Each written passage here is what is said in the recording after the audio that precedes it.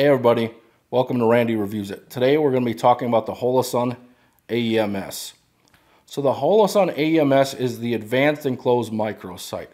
What does that mean? It means it's a very small sight that's enclosed, so it's weatherproof for the most part.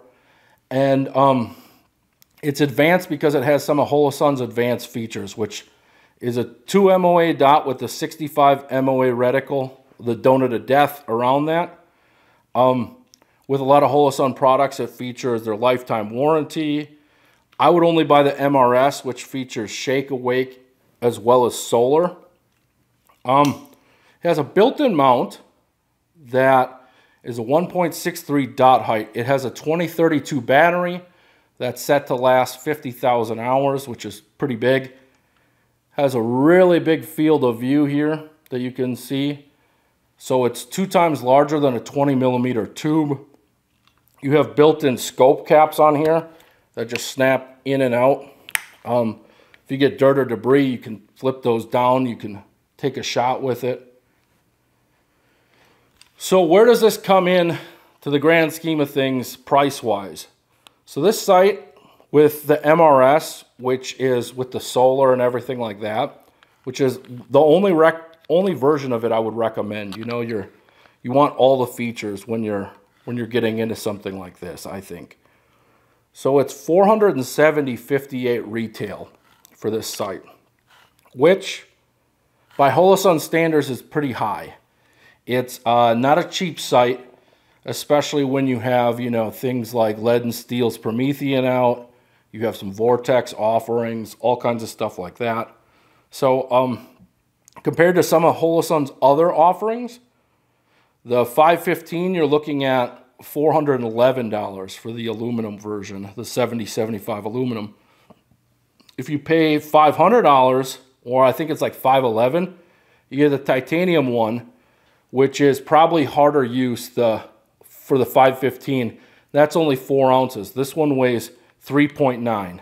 So uh, granted that 515, I believe it's only a 20 millimeter tube on that. Um, don't quote me for sure, but um, so you're getting a smaller field of view. So what is this perfect for? This is perfect for your pistol caliber carbines, your small home defense rifles like this that you want to keep light and mobile. What is it not for? I would say um, with, with my initial impressions on this, it's not hard use rated yet. Maybe someone beat it up in a torture test. That's probably not me but it just doesn't feel the same way that the lead and steel Promethean does as far as durability. But then again, that's four times, wait, no, three times heavier than this thing.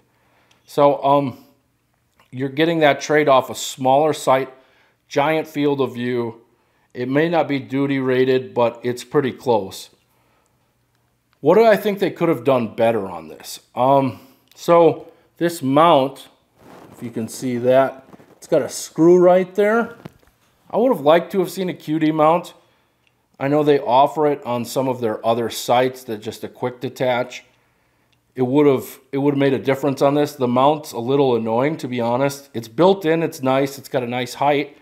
However, to get it on, I had to take the piece completely off the other side to get it onto the rail, which I, I usually like to see it where you just put it on and tighten it, not have to get that little piece on the first, you know, eighth of an inch away or whatever it is. Um, so yeah, what could be better priced? Um, this seems a little too bougie for what I would say like when you think of Holosun. I know that they definitely have respect now. I used to be a Holosun denier. Now I'm a big fan. I have pl plenty of their sights, especially on my handguns. Um, I would have just liked to have seen a QD mount and maybe drop the price, let's say $70. Um, keep it right at that 400 range if we could. That would probably be ideal. So if you see one of these out on, you know, third-party site or vendor or something, maybe they come on sale. If you could get it for $400 or less, that's definitely a steal. I would recommend this sight. So far, this is just my initial review. But I've taken this sight out probably 9 to 12 times on range days, and I've had good luck with it.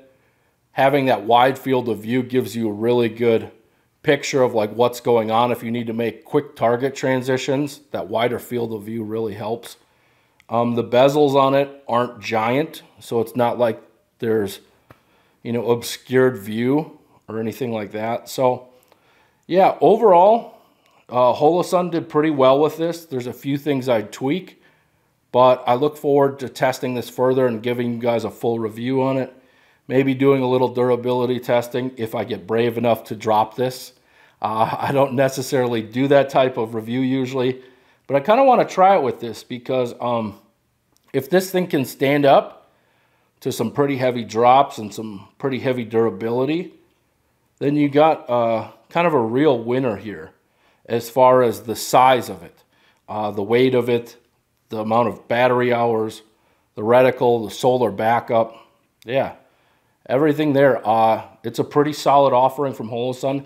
I'm really excited. I know that uh, at SHOT Show they kind of debuted a thermal that kind of looked like this, but it included thermal, which would be really amazing. I'm not sure what that'll cost, but I look forward to it. So uh, if you have any questions about this Holosun, feel free to reach out. Um, I'm going to be putting it through a lot of tests. Uh, I bought a bunch more 300 blackout for this. Uh, so looking forward to testing this sight further and, you know, do some target transitions and things like that. Thanks for watching, everyone. Take care.